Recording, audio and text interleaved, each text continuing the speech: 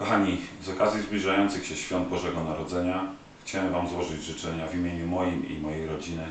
Wszystkiego dobrego, spełnienia wszystkiego, wszystkiego tego, o czym marzycie, mnóstwa prezentów pod choinkę i jednocześnie chciałem bardzo podziękować za wsparcie zarówno w chorobie, jak i przy okazji finału Must Be The Music.